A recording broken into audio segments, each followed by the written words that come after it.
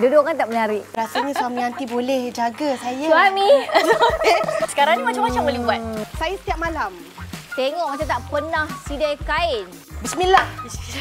Ya Allah. Dia tajam. Ya. Semua kita kena jaga badan kan. Betul. Betul. Macam burrito. Memang hantu. Ha. Hai, jangan lupa saksikan saya dalam rancangan Ujian Menantu. Hanya di Awesome TV. Memang awesome.